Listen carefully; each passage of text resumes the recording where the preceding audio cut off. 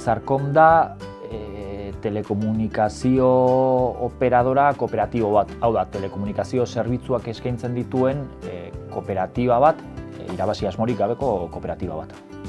Eskaintzen dituna, e, telekomunikazio zerbitzuak esaten dugune, ez nahi dugu e, telefonia mugikorra, e, telefonia finkoa eta internet e, konexioa. Proiektua biatzen da, egia da esan behar dugu, igual bi, bi talde edo elkartzen direnean. Alde batetik zegoen, e, bueno, jende bat, aspalditik e, ari dena Euskal Herria, baina Euskal Herritik kanpo ere bai, ba, zegoen jende bat, e, internet eskaintzeko sare libreen kontzeptuakin eta bueltaka, eta bueno, hemen inguruan bagendune jende bat horrekin zebilela, eta elkartu ginen, ba hori, ba, nolabait talde teknikoa edo, esan dudana, interneta eskaintzeko sare libre inguruan lanea egiten zengo jendea, eta olatu kopen inguruan edo sortu ginen, eta ekonomia sozial eraldatzailearen inguruan e, e, bueno, lanean ari ginen, edo horren e, hortaz pentsatzen ari ginen, jende bat elkartuta, eta bueno, ba, ba, aspaldiko idea bat zen, eta pixkat elkartu ginenean bi, bi alde horiek edo bi erpin horiek, ba, ba sortu zen proiektua. Bueno, zer da telekomunikazio inguruan e, subirautza izatea?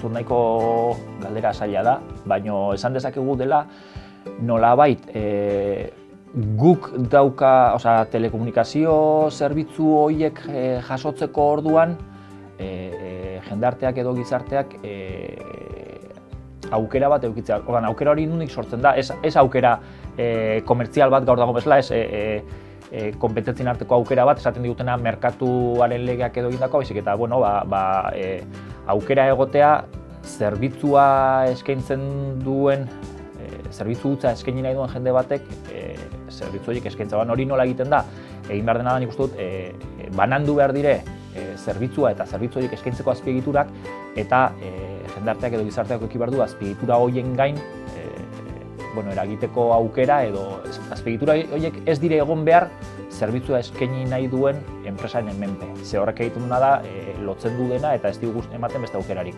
Eta orduan, bilek banatzerakoan aukera dago, bueno, ba, ba beti esaten duguna, e, Brain arteko enpresa horiek eman dezakete beraien zerbitzua, baina beste edo zeinek, beste edo zein kontzepturekin edo, edo e, merkantila ez den e, idea batzukin zerbitzua emateko aukera badu.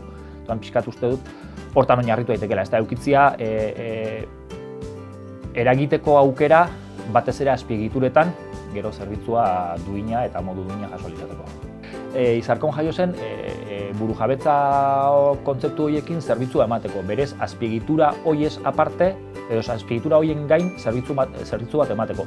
Gertatzen da, e, azpiegitura horiek ere ez dauden ez oraindikan eta azpiegitura hoien e, zentzua edo, edo e, idea guzti hori ez dugun ez ezagutzen, izarkon jaio zen ere bai, e, guzti hori jendartera, e, jendartera ekartzeko, mai gainen jartzeko debatea eta beste batzukin batera e, azpigitura horiek e, eraikitzen hasteko.